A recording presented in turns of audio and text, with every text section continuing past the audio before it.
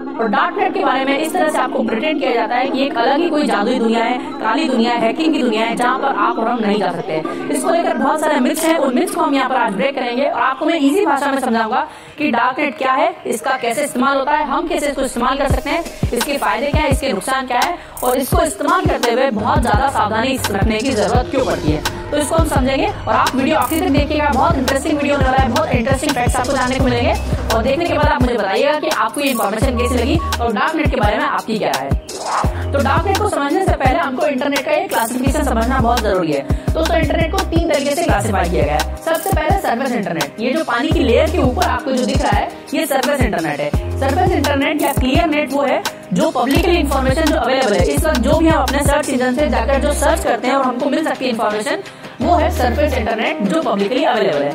उसके नीचे आती है डीप इंटरनेट डीप इंटरनेट का मतलब ये कि ये जो इन्फॉर्मेशन है, ये किसी भी सर्च इंजन पर इंडेक्स नहीं होती. यानी कि जो आपका सर्च इंजन है, उसको ये इन्फॉर्मेशन दिखती नहीं है, उसको ये पता ही नहीं कि ये इन्फॉर्मेशन है.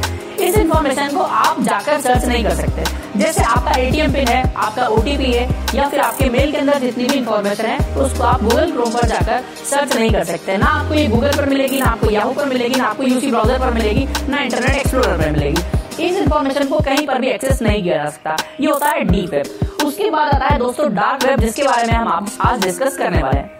डार्क नेट दोस्तों वो है जो एक इंटरनेट के साथ ही पैरेलल इंटरनेट है। ऐसा समझ सकते हैं कि डार्क नेट जो है, इसके अंदर जितनी भी इंफॉर्मेशन यहाँ पर जो पब्लिक इंटरनेट पर और डीप इंटरनेट पर अवेलेबल है, वो इन्फॉर्मेशन डार्क नेट पर आपको नहीं मिलेगी। या डार्क नेट पर जो इन्फॉर्मेशन होगी, वो आपको इस पब्लिक इंटरनेट पर नहीं मिलेगी।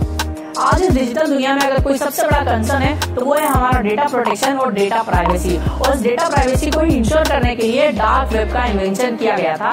क्योंकि आप यहाँ पर जो भी चीज़ सर्व करेंगे वो आप दोनों के बीच में होगी। इतने सारी लेयर्स की बात होगी कि आपकी जो आइडेंटिटी आपकी लोकेशन है और आपकी जो इन्फॉर्मेशन है वो पूरी तरह से इंक्रिप्टेड रहेगी। उसको कोई भी यहाँ पर पता नहीं, नहीं लगा पाएगा। तो डेटा प्राइवेसी यहाँ पर पूरी तरह से सिक्योर हो जाती है और यही सबसे बड़ा फ़ायदा डार्क वेब का है। तो डार्क नेट इंटरनेट के अंदर ही एक पैरेलल इंटरनेट की दुनिया है, जिसको आप और हम इतनी आसानी से एक्सेस नहीं कर सकते। इसको एक्सेस करने के लिए भी आपको एक पर्टिकुलर सॉफ्टवेयर की ज़रूरत पड़ेगी। उसी के अंदर आप उस इन्फॉर्मेशन को सर्च कर सकते हैं और उसको सर्च करने के लिए भी आपको पर्टिकुलर वेबसाइट पता होनी चाहिए, तभी आप उसको ढूंढ सकते हैं। डार्क नेट जो होता है, वो ओनियन राउटिंग पर काम करता है और इसका जो डोमेन नेम होता है, वो भी डॉट ओनियन होता है। डॉट ओनियन क्या है? और ये ओनियन राउटिंग क्या है? इसके बारे में आपको बताऊँगा आगे। डार्क नेट का इस्तेमाल वो लोग करते हैं जिनको बहुत ज़्यादा हाई सिक्योरिटी की ज़रूरत पड़ती है, क्योंकि यहाँ पर ये सब कुछ एनोनिमसली होता है। ये आपकी आइडेंटिटी को छुपा कर रखता है, आपकी लोकेशन को छुपा कर रखता है। किसी को कोई जानकारी पता नहीं चल सकती कि आप कौन हो, कहाँ से आप इंटरनेट को सर्व कर रहे हो। क्यों? क्योंकि ये जो है ओनियन राउटिंग पर काम करता है। तो इसको इस तरह से समझते हैं कि आपको इन्फॉर्मेशन अगर सर्च करते हैं तो वो आपके आईपी एड्रेस के ज़रिए किसी एक वेब सर्वर पर जाती है और वहाँ से आपको आंसर निकाल कर दे देती है। यहाँ पर आपका एक आईपी एड्रेस होता है और आपको उससे इन्फॉर्मेशन मिल जाती है। इससे आपको कोई भी आसानी से हैक कर सकता है। लेकिन डार्क नेट जो है वो वीपीएन की तरह काम करता है। जैसे मैं यहाँ से कोई इंटरनेट इस्तेमाल कर रहा हूँ और वीपीएन के ज़रिए मैं अपना आईपी एड्रेस चेंज करके न्यूयॉर्क का बता सकता हूँ। वैसे ही यहाँ पर डार्क नेट में क्या होता है? ये मल्टीपल वीपीएन जनरेट कर देता है। जैसे इस डायग्राम के ज़रिए आप इसको समझिए कि जैसे कोई ए इन्फॉर्मेशन है, उसको मुझे जेड के पास भेजना है तो वहाँ पर मैं क्या करूँगा? ए को पहले बी के बी के पास भेजूँगा पी को सी के पास भेजूँगा, और वो सी के बाद डी के पास भेजूँगा, और इस तरह से वो जेड के पास जाएगी। और इस तरह से बहुत सारी लेयर्स क्रिएट हो जाएगी। और इसी को कहते हैं ओनियन राउटिंग समझिए आप देखो, जैसे ये हमारा ओनियन होता है। इस ओनियन में बहुत सारी लेयर्स होती है। एक के बाद एक के बाद एक बहुत सारी लेयर्स होती है और इसी तरह से डार्क वेब में भी डेटा ट्रेवल करता है। डार्क वेब में क्या होता है कि आप कोई चीज़ सबसे पहले सर्च करते हैं तो ए के पास जाती है ए के बाद बी के पास जाती है बी के बाद सी के पास जाती है और इस पूरी चेन को नोड्स कहते हैं। एक एक नोड कनेक्टेड होते हैं और ये मिलाकर एक सर्किट बनाते हैं। अब जो आप इन्फॉर्मेशन यहाँ पर इतनी सिक्योर्ड होती है कि जो इन्फॉर्मेशन ए से बी के पास जा रही है तो बी को केवल इतना पता है कि मुझे अपनी इन्फॉर्मेशन आगे भेजनी है। इसके अंदर क्या मैसेज है, वो इनक्रिप्टेड है। उसको केवल जेड ही इनकोड कर सकता है, जिसके लिए हमने ये मैसेज क्रिएट करा है। अब दोस्तों, इसमें सबसे बड़ा फ़ायदा ये है कि आपको कोई ट्रैक नहीं कर सकता। जैसे मान लीजिए बी से सी के पास इन्फॉर्मेशन आई है तो सी को केवल इतना पता है कि मुझे इन्फॉर्मेशन बी से मिली है। लेकिन उसको ये नहीं पता कि ये इन्फॉर्मेशन बी से ओरिजिनेट हुई है या फिर ये आगे जा रही है। उसको केवल ये मतलब है कि मेरे पास इन्फॉर्मेशन बी से आई है और मुझे अब इन्फॉर्मेशन आगे भेजनी है। और यही कारण है कि आपको कोई ट्रैक नहीं कर सकता कि आप कहाँ से इन्फॉर्मेशन को सर्च कर रहे हैं, आप कौन है, आपकी लोकेशन क्या है, किसी को कोई कुछ नहीं पता चलता। और इसीलिए जो बहुत ज़्यादा सिक्योरिटी को से जुड़ी हुई जो चीज़ें होती है, उसको डार्क नेट पर किया जाता है। या फिर इलीगल एक्टिविटीज़ जो है, वो डार्क नेट के ज़रिए की जा सकती जाती है। क्योंकि आपको कोई पकड़ नहीं सकता। कोई आपको पकड़ेगा तो उसको बहुत सारी ओनियन राउटिंग के ज़रिए बहुत सारे उसको लेयर्स डिकोड करना पड़ेगी और उसके बाद भी वो आप तक पहुँच पाएगा कि नहीं पहुँच पाएगा, ये कुछ कहा नहीं जा सकता। क्योंकि बहुत सारी लेयर्स क्रिएट की हुई है ओनियन राउटिंग के ज़रिए और इसलिए इसको कोई आसानी से पकड़ नहीं सकता। और इसीलिए इसका जो डोमेन है वो भी डॉट ओनियन करके जैसे अभी हम इंटरनेट पे जो भी चीज़ें सर्च करते हैं, वो या तो Facebook dot com WhatsApp dot com India dot O R G India dot in इस तरह की इन्फॉर्मेशन सर्च करते हैं। लेकिन अगर आपको अगर ओनियन राउटिंग के ज़रिए कोई इन्फॉर्मेशन सर्च करनी है तो आपको डॉट ओनियन करके सर्च करना होगा। जैसे अगर आपको डार्क वेब पर अगर फेसबुक खोलना है तो आपको फेसबुक डॉट ओनियन खोलना होगा। और फेसबुक भी वहाँ पर तभी खुलेगा जब फेसबुक कंपनी ने अपने इस ब्राउज़र पर डार्क नेट पर अपनी अगर आईडी और अपना सर्वर बना रखा है तो आपको ये मिलेगी वहाँ पर। और जैसा मैंने आपको पहले बताया था कि डार्क नेट को इस्तेमाल करने के लिए आपको पर्टिकुलर ब्राउज़र की ज़रूरत पड़ेगी। उसके ज़रिए ही आप उसको एक्सेस कर सकते हैं। तो सबसे ज़्यादा फ़ेमस ब्राउज़र जो है, वो है टॉप ब्राउज़र टॉर ब्राउज़र का सबसे ज़्यादा इस्तेमाल किया जाता है डार्क नेट के लिए। उसके अलावा एक और I two P invisible internet project इसका भी इस्तेमाल डार्क नेट के लिए किया जाता है। लेकिन सबसे फ़ेमस है टॉर ब्राउज़र अगर आपको कोई भी इन्फॉर्मेशन डार्क वेब के ज़रिए सर्व करनी है तो आपको उसके लिए टॉर ब्राउज़र इंस्टॉल करना पड़ेगा। ये आपको आसानी से मिल जाएगा। लेकिन टॉर ब्राउज़र पर आपको वही केवल वेबसाइट मिलेगी, जिसका की आखिरी में डोमेन होगा डॉट ओनियन के साथ जिसका डोमेन होगा, वही जानकारी आपको यहाँ पर टॉर ब्राउज़र पर मिलेगी और ये जानकारी आपको वहाँ पर अपने पब्लिक इंटरनेट पर नहीं मिलेगी।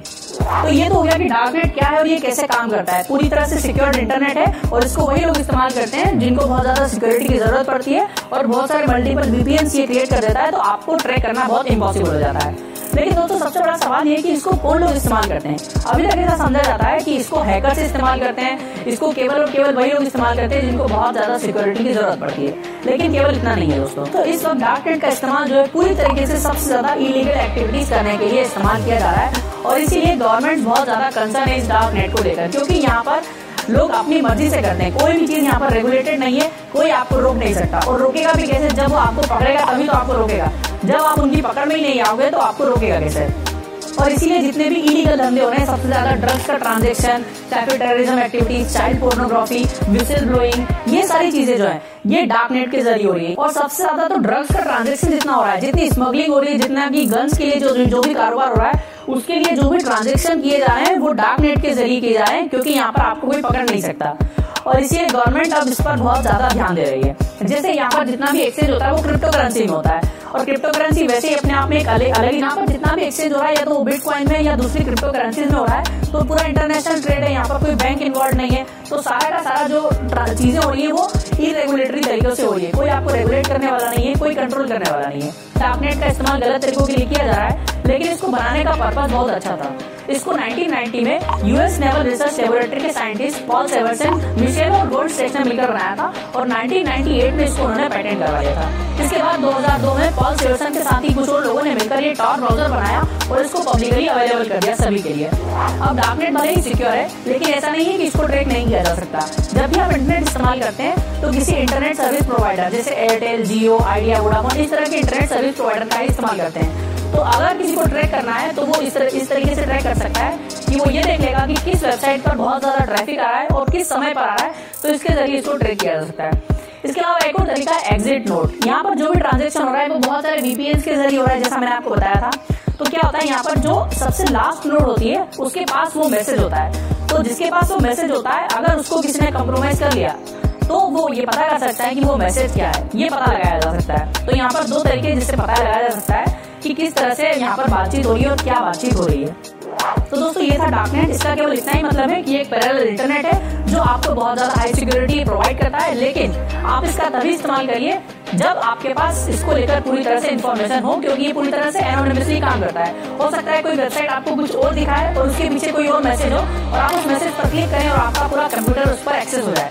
और हो सकता है कि वो जो हैकर है जो फिर आपको बाद में ब्लैकमेल करे और हो सकता है आपको ब्लैकमेल करके वो आपसे इलीगल एक्टिविटीज़ में आपको इन्वॉल्व कर ले इसलिए नॉलेज के लिए केवल जानना डार्कनेट क्या है कैसे काम कर, करता है इसको कैसे इस्तेमाल किया जा सकता है ये जान लेना काफ़ी है लेकिन इसको इस्तेमाल तभी करें जब आप इसको इस्तेमाल करने के लिए पूरी तरह से तैयार हो और आपको इसका अच्छा खासा नॉलेज हो। वरना आप डार्कनेट पर नहीं जाए तो ही अच्छा है क्योंकि आपको जितनी भी इन्फॉर्मेशन चाहिए वो आपको इस पब्लिक इंटरनेट पर आसानी से मिल जाएगी इसलिए डार्कनेट पर जाने की आपको कोई ज़रूरत नहीं है। उम्मीद है दोस्तों ये वीडियो आपको अच्छा लगा होगा और डार्क प्रिंट पूरी तरह से आपको समझ आ गया होगा। और अगर इससे रिलेटेड अभी भी कोई क्वेरी है तो मुझे कमेंट बॉक्स में कमेंट करके बताइए। और ये वीडियो अगर आपको अच्छा लगा है तो लाइक ज़रूर कीजिएगा, क्योंकि मेरी कोशिश यही रहती है कि मैं आपको इजी से इजी लैंग्वेज में कोई भी टॉपिक समझा सकूँ। तो आप वीडियो को लाइक ज़रूर कीजिएगा, और अगर चैनल पर नए तो सब्सक्राइब करना बहुत भूलिएगा।